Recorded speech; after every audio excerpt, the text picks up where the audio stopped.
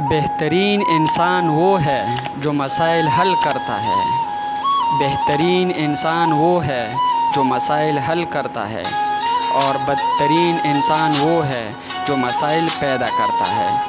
एक बात याद रखना, जब तक दूसरों का दिल आपकी वजह से भी सुकूनी में रहेगा, सुकून आपको भी कभी नहीं मिल सकेगा।